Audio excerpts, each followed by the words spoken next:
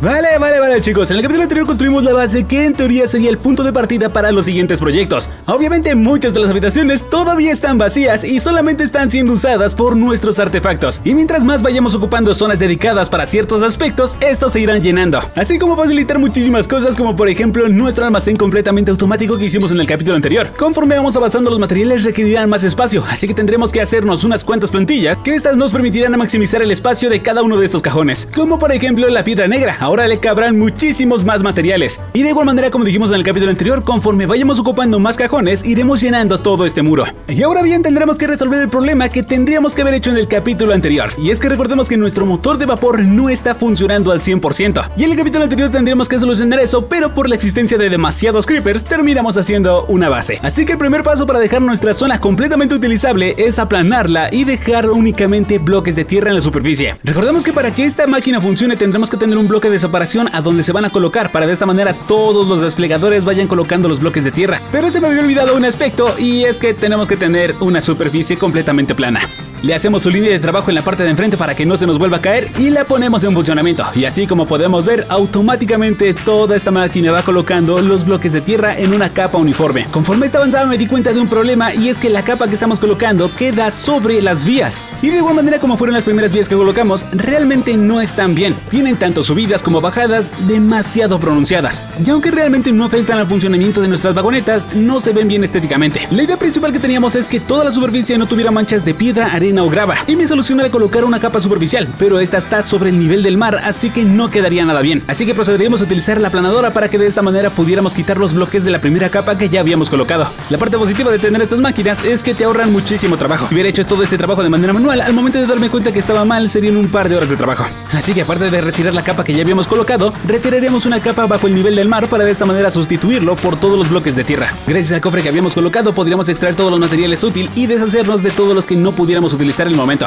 Pero al momento de llegar a la zona de sabana me di cuenta de que la minadora realmente está muy pequeña a comparación de los montículos que tenemos aquí. Así que todas las capas superficiales tendríamos que quitarlas a mano. Y es que como segundo objetivo lo que tendremos que hacer es bajar las vías para que estén a un nivel más aceptable. Como la zona de la piedra es un poquito más complicada, nos apoyaríamos de la misma minadora para empezar a quitar las capas superficiales y de esa manera nosotros solamente ir puliendo la de arriba. Hacer esto nos permitiría tener un sistema de vías más organizado, pero a la vez también nos permitiría conseguir unos cuantos materiales que nos vendrían de maravilla para el momento de aplanar toda la zona. Y es que el momento de estar trabajando zonas tan amplias es que son muy visibles, y al quitar grandes apartados de tierra sin una organización correcta podría verse antinatural. Tanto el almacén de la máquina como mi inventario y la mochila no eran suficientes para guardar todos los materiales que habíamos conseguido hasta el momento, así que tendríamos que recurrir a unos cuantos cofres. Pensé que realmente no extraeríamos demasiados, pero se llenaban los cofres demasiado rápido. Apenas íbamos ligeramente pasando de la mitad del proyecto y ya teníamos tres cofres dobles de este material. Así que creo que por esto no sufriremos, al menos no por un momento. Con esto último al fin teníamos una zona completamente delimitada que sería únicamente para las vías. Y como podemos ver actualmente la capa que tenemos minada está a un nivel inferior a la zona del agua. De igual manera tendremos suficiente material para empezar a cubrir esto. De esta manera también consiguiendo una capa completamente uniforme sin ninguna mancha. De igual manera a la par de estar construyendo una capa tendríamos que ir quitando la que sigue. Pero se me olvidaba que teníamos que estar bastante pendiente de que no se nos acabara el material. Una vez rellenado el material podía seguir con su camino. Si bien la máquina puede cubrir zonas bastante amplias, el problema es que es muy poco precisa, así que nosotros tendremos que rellenar algunas zonas de manera manual. Y esto normalmente es en los extremos, ya que la máquina es demasiado amplia, así que los últimos bloques son difíciles de cubrir. Y todo esto lo podremos hacer siempre y cuando cuidemos que la máquina principal tenga suficiente material. Al cabo de un rato me daré cuenta de un problema, y es que la máquina, a pesar de que va colocando las vías bajo el agua, se ralentiza demasiado. Así que tuvimos que cancelar la colocación de los bloques de tierra hasta que pudiéramos acabar de aplanar correctamente. Desgraciadamente esto iba a ser increíblemente difícil de hacer, así que mi opción iba a ser la de un inicio. Aplanar completamente y todas las manchas que dejaríamos tratarlas nosotros de manera manual. Así que dejaríamos de usar por completo la minadora y darle paso únicamente a la aplanadora. Pero al momento de estar trabajando me di cuenta de un problema y es que parece ser que un simple pescado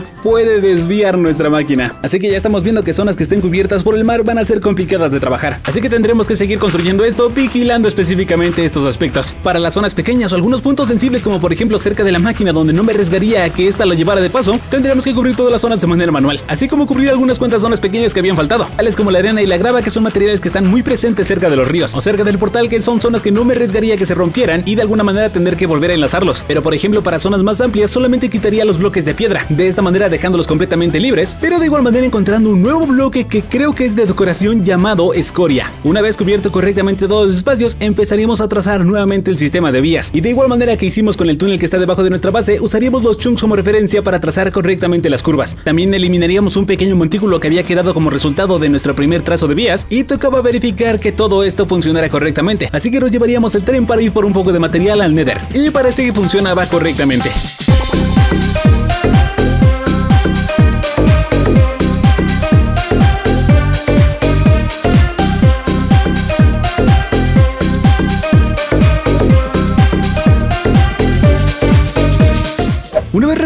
Del área de trabajo, ahora sí tendríamos que empezar con una nueva fábrica. El primer paso que tendremos que hacer es conseguir demasiado azúcar y para ello tendremos que hacer una fábrica de caña. El diseño será prácticamente similar a la granja de alga y a la de madera, así que tendremos que usar ejes rotacionales, algunos ejes normales, bandas transportadoras y también tendremos que hacer un par de cosechadoras. Pero para ello tendremos que usar aleación de andesita. Realmente el problema de la granja de caña de azúcar es que al momento de pasar las cosechadoras, estas crecen a 3 de altura, así que no nos podemos arriesgar a que esto suceda y usaremos un eje doble. Y para dotarla de energía usaremos unas cuantas balas de viento. Para surtir los materiales vamos a ocupar un brazo mecánico y vamos a ocupar muchísima, pero muchísima caña de azúcar. Vale chicos, los pasteles de Blaze van a tener que venir a para aquí a donde el brazo mecánico podrá surtirlos a nuestra caldera, así que tendremos que empezar por el final. Lo primero que tendremos que hacer es colocar una cinta transportadora en donde vendrán todos los platos y recordemos que para hacerlos vamos a necesitar comprimir huevo, azúcar y harina de nether, así que nos tendremos que ayudar con una prensa. Lo que tendremos que hacer es colocar tres depósitos en donde vendrán estos tres materiales que anteriormente mencionamos y obviamente tendremos que ponerle sus respectivos generadores de cada uno de los materiales. Obviamente los materiales llegarán al punto en donde no se usen lo suficientes, así que vamos a ocupar algunas bóvedas para almacenar el sobrante. Este lado de acá tendremos que conectar otra cinta transportadora y es que el problema con la caña de azúcar es que tendremos que farmearla. Tendremos que esperar que crezca y con las cosechadoras recolectarlos, así que tendremos que hacer una zona de granja de caña de azúcar. Por otro lado, en la parte del centro vamos a colocar una bóveda que simplemente va a funcionar para almacenar la netherrack. Desgraciadamente este material no es renovable, así que vamos a tener que traer constantemente este para que siga funcionando. De esta manera únicamente lo reducimos a una bóveda, ya que no requiere tanto espacio, o al menos un sistema que genere este. Si bien las cosechadoras hacen un recorrido circular, tendremos que calcular algunos cuantos bloques para que de esta manera no afectemos el resto del sistema. Tristemente recordemos que las cañas requieren sí o sí una zona de agua aledaña a ella, así que tendremos que construir una zona cuadriculada alrededor del centro.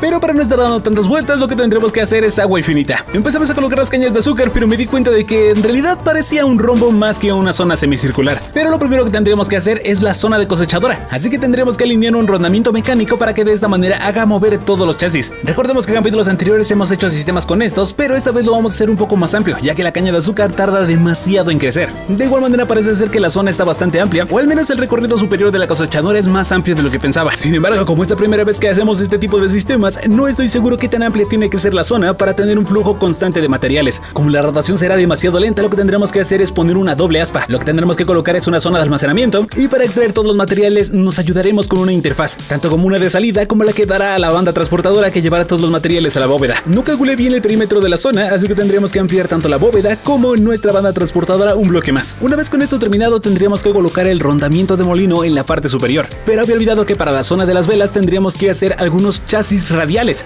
Y es que estos son los únicos bloques que permiten adjuntar las velas sin usar pegamento. Y es que realmente no necesitamos tanta velocidad para empezar a recolectar los materiales, así que simplemente con las velas de viento son más que suficientes. Pero en comparación, el sistema que vamos a ocupar para repartir todos los materiales y empezar a craftearlos, sí necesitamos un torque mayor. Así que lo que tendremos que hacer es extraer ligeramente un poco de energía de los motores principales. Una vez tenemos energía en todas las cintas transportadoras, lo único que tendremos que hacer es distribuirlas al resto. De esta manera logrando conseguir un esquema de suministros de materiales. Pero el detalle es que nos habíamos quedado sin algas para hacer algunos embudos. Así que mi idea era intentar darle uso al horno que habíamos creado en la base. De esta manera colocando un stack de algas en el depósito, pero de igual manera nos hacían falta algunos materiales extra como unas ruedas trituradoras. Estas lo que harán es convertir la netherrack en harina de nether. Pero también ocuparemos unos cuantos molinos de piedra para convertir la caña en azúcar. Tristemente al momento de llegar a nuestro depósito, el stack de algas había desaparecido. Y es que me di cuenta que erróneamente la corriente de aire no debía de venir de un bloque de lava, sino de un bloque de fuego. Así es, parece ser que habíamos ignorado hasta el día de hoy que podemos realizar otros crafteos completamente distintos dependiendo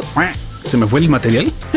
Había olvidado completamente de que tenemos que actualizar los filtros para que de esta manera no absorba los materiales. Y de igual manera tendremos que sustituir el bloque de tierra por alguno de netherrack para que nunca se apague la flama. Pero como solamente quiero corroborar que esto funciona, tendremos que avivar las llamas a cada rato. Y tan solo después de un par de segundos, teníamos más de 20 stacks de algas cocidas. Y ahora el último material que tendremos que conseguir son huevos. Y es por eso que necesitaremos varios embudos de andesita. Al menos las tolvas no podemos conectarlas directamente a este tipo de bóvedas para que absorban los materiales. De igual manera tendremos que modificar todos los embudos para que tengan la flecha hacia adentro y de esta manera absorban los materiales que vayan dejando. Ahora tendríamos que ir por semillas a nuestra base y es que vamos a necesitar llevarnos a todas las gallinas. Fabricaremos un poco de vidrio cortado para de esta manera craftearnos algunos ventanales, pero creo que vamos a necesitar más bóvedas. Y ahora sí toca llevarnos a todos los mobs que habíamos conseguido los primeros días, que creo que realmente nos podrían ayudar muchísimo. Aunque esto es extremadamente lento. Y todavía más complicado si no cuentas que algunas gallinas no pueden saltar las vías. Como probablemente estas no van a ser suficientes para un flujo constante de materiales, lo que haremos es reproducirlas. Según mis cálculos, con 45 de estas serían más que suficientes. Pero para evitar que puedan fallecer por asfixia, tendremos que poner una zona más amplia en la parte inferior. En lo que construíamos esto, se me ocurrió la maravillosa idea de quitarme las semillas de la mano. Así que tan solo en los segundos que me tomó ampliar la bóveda, prácticamente todas las gallinas se dispersaron. Así que mientras terminaba de construir los ventanales, tendría las semillas en la mano secundaria para de esta manera empezar a juntarlas de cierta manera. Y así consiguiendo una zona de recolección visible para evitar algunos problemas a futuro. Afortunadamente tratar con este tipo de mobs que te siguen es bastante fácil y solamente toca construir un puente. Y de esta manera podemos empezar a colocarlas en donde nosotros queramos. De hecho, la parte más complicada es tener en cuenta cuántos mobs tengo actualmente. Y es que si realmente queremos el flujo constante de ítems, tendremos que considerar estrictamente el tiempo que le toma a cada una de las gallinas poner un huevo. Una vez capturadas todas estas, habíamos cumplido con el segundo material súper importante. Así que únicamente tocaba darle uso a uno de los embudos para de esta manera extraer todos los materiales de la bóveda. Pero tengo que verificar que todos los materiales no traigan contaminantes que puedan afectar a la mezcla. Creí que ya había acabado de construir toda la zona de la caña de azúcar, pero me había dado cuenta de que no habíamos pegado los materiales. Es que recordemos que para la parte del ensamblaje tenemos que unir todos y cada uno de los componentes con pegamento. Si no de esta manera al momento de darle energía al sistema, estos no van a actuar como un solo objeto. Y como efectivamente lo habíamos pensado desde un inicio, el torque no es muy rápido, pero realmente la caña de azúcar no es que crezca a una velocidad tan alta.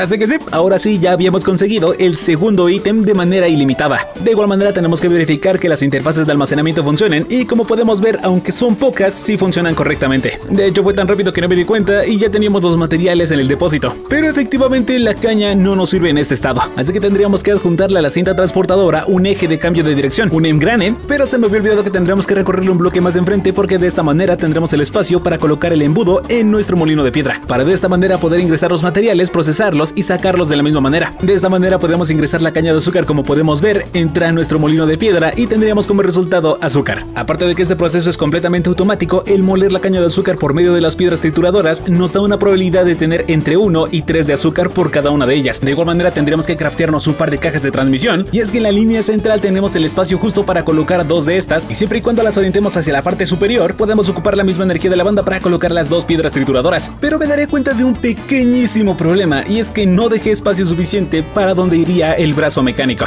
Así que tendríamos que recorrer la parte de la cuenca hacia un lateral, pero de igual manera tendríamos que colocar dos cintas transportadoras que vengan a parar hacia el mismo depósito. Y aunque la cinta sea extremadamente pequeña simplemente con dos bloques, es más que suficiente para poder colocar nuestro surtidor en la parte superior. Colocaríamos la parte de la cuenca y como podemos ver es milimétricamente la distancia que hay entre la interfaz para que no colisione con nuestra cuenca. Tendremos que modificar que el brazo mecánico tome los ítems de estos tres y los asigne a nuestra cuenca. Únicamente tenemos que tomar prestado un poco de energía del eje principal y aunque estéticamente sea lo peor que podemos hacer, conectar tres engranajes en paralelo. Y como podemos ver efectivamente el brazo mecánico empieza a tomar todos los materiales y asignarlos a la cuenca. Así que lo único que nos haría falta es ir al Nether por muchísima Netherrack. Se me habían olvidado algunos cuentos rieles, así que tomaríamos prestados los que usamos para llevarnos al spawner. Y para llevarnos una gran cantidad de este material usaríamos la minadora, que de hecho parece ser bastante útil y podríamos empezar a decorar la parte del Nether. Si pudimos aplanar grandes extensiones en el Overworld, ¿por qué no hacerlo aquí también? Ustedes pueden verificar que hemos tenido muchas malas experiencias con estas piedras trituradoras, así que lo que haríamos es hacerlas ligeramente más seguras al menos en esta ocasión. De igual manera tendríamos que empezar a cubrir todos los ejes para que no se vieran tan mal, aprovecharíamos para energía del mismo brazo mecánico y de esta manera dotar de esto a las dos bandas transportadoras que llevarán nuestro material y a la prensa hidráulica. Y de igual manera que como lo hemos hecho anteriormente, con una simple caja de transmisión podemos compartirle la energía que viene desde la prensa hasta la cinta transportadora que llevará el material a nuestro depósito final. Hasta el día de hoy todo el sistema para alimentar a los bays se basaba con cubetas de lava que eran suministradas por un surtidor. Así que lo que tendremos que hacer es desmantelar este sistema y usando el mismo surtidor podemos empezar a llenar todos los platos de Blaze. Pero Percy, ¿de qué me sirve sustituir las cubetas de lava por pastelillos de Blaze? Y es que esto implica una mejora excesivamente eficiente, ya que el pastel de Blaze tiene una duración significativamente similar, pero ocupamos simplemente un tercio de la cubeta. Así que lo que tendremos que hacer es empezar a asignar los materiales que tenemos de este lado de acá a nuestra cuenca, asignaremos un filtro y colocaremos los platos para que de esta manera el brazo mecánico, como podemos ver, empieza a dotar de pastelillos de Blaze a nuestro calentador. Y así como podemos ver los quemadores están súper cargados. También podemos ver en las estadísticas que el calor ha aumentado significativamente y el proceso sigue funcionando de manera correcta. Sin embargo, aún nos faltaban un par de líneas de calor. Asignaríamos un cofre en la parte trasera de nuestro molino de piedras para que de esta manera saliera harina constantemente, pero recién recordé que este boiler solamente tiene 8 Blaze en la parte de abajo. Así que sí, el calor faltante se debía a que no teníamos las herramientas necesarias en la parte inferior. Configuraríamos nuevamente los 9 Blaze en la parte inferior con el brazo mecánico. De igual manera tendríamos que asignar que empiece a sacar los pasteles desde el depósito y esperemos a que el brazo mecánico tome el último pastelillo de Blaze y como podemos ver hemos conseguido un nuevo logro. Si nos vamos a la pestaña de los progresos podemos ver que esto consiste en tener una caldera funcionando a la potencia máxima. De igual manera tendremos que gastar todas las semillas intentando procrear la máxima cantidad de gallinas, pero para tener un ligero rango de manejo podemos venir por todo el producto que ya habían hecho anteriormente. De esta manera tendremos suficiente espacio para ver si funciona de manera continua, lo cual nos dará suficiente tiempo para empezar a analizar el sistema e intentar maximizarlo aún más. A este punto ya habíamos bajado bastante material de nuestro depósito general, así que tendremos que hacer una ligera modificación a nuestra vagoneta de suministros. Así que tendremos que conseguir unas cuantas interfaces extra, reconstruir nuestros depósitos porque se habían desconfigurado y modificar las interfaces de líquidos en el Nether. Obviamente con una que otra fuga. Pero desgraciadamente parece ser que agregar más interfaces no afecta a la velocidad de llenado, o al menos no muy notoriamente. Y aunque tenemos de manera ilimitada la lava, es complicado en cierta manera.